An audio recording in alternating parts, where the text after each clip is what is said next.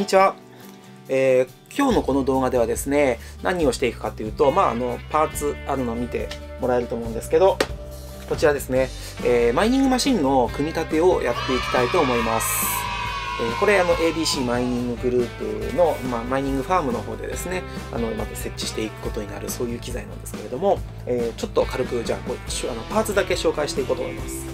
えーとまずよくわかんないこれね。これあのフレームキットです。まあ、ケース代わりに使うんで、えー、本当はこのケース、ね、使わなくていいんですよ、うん、いいんですけど、えー、今回はあのビデオカード5枚差しっていうことで、えー、一応こうラックに収まるような感じで、うん、ちょっとね持ち運びすることも多いので、えー、まあ、デモ機みたいな感じの立ち位置ですね。そのために、えとりあえずフレームキット買いました、うん、で、えっとまず、まあ、マザーボードですね。マザーボードはバイオスターの TB250BTC プラスこれがですね何がいいかっていうと PCI エクスプレスのスロットがこれいくつあるんだろう？1,2,3,4,5,6,7,7つあるんですね。でビデオカード用が1つ。と、えーまあ、これ最大7ついける7本いけるのかな、うん。まあ、本数をさせるということで将来の拡張性を考えてこれにしました、うん、なかなかねこのシリーズ本当はもっとさせるやつあるんですよ。15枚ぐらいさせるやつあったはずなんですけどかなりやっぱ人気で品薄になってます。はい。で、えー、とこっちがこれライザーカード。うん、これちょうど延長するやつですね。ビデオカードに、えー、ビデオあのビデオカードをマザーボードに直差しはできないんで、延長して使うやつです。これ、えーと、5枚セットのやつを、あ、違う、6枚セットのやつだ。買いました。6枚セット。うん、で、えー、電源、電源ケーブル付き。うん、これ、電源ケーブル付きのやつ買った方が絶対いいですよ。うん、じゃないと、意外と、えー、こういうのって足りないと思って買ってると、えー、高くつくんですよ。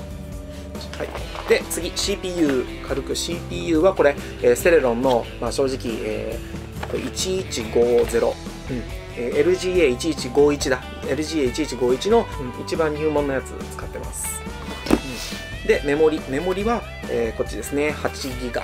1枚だけ、うん、あの容量は特に必要ないので1枚だけ、うん、これは、えーと、SSD キングファースト。もう値段重視です。こういうのは。200 120、120GB だけ。OS 入って走ればいいです。で、よいしょ。あー、重た。はい。めっちゃ重い。電源。ドン。えー、電源は、エナマックス。エナマックスだよね、これ。うん。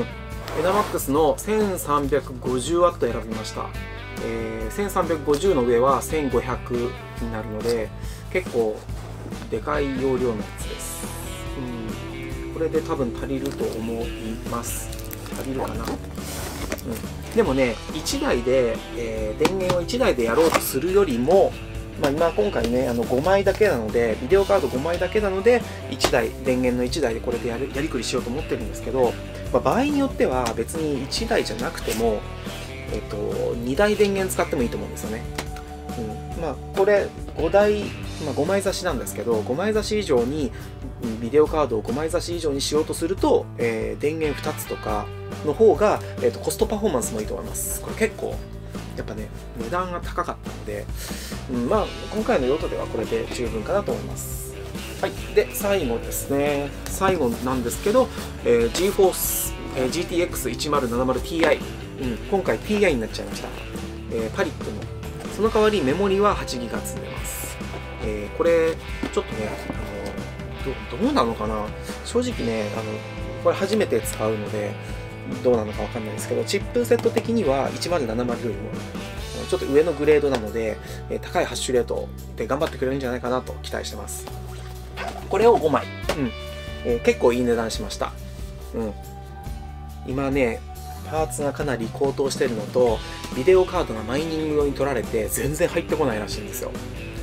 まあ3月ぐらいになるとまた入ってくるとかっていうニュースもあるんですけど、まあ、どうなんですかね、うんまあ、海外から直接仕入れるルートを持ってないとちょっと厳しい状況になってきてるんじゃないかななんて思いながら、えー、とりあえず制作いってみましょうか。